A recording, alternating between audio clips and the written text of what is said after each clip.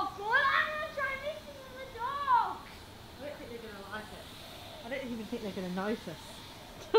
Please, Do you reckon Max even notices? Can I try now? Oh, that, that definitely hurt me. Max, come here, Maxie.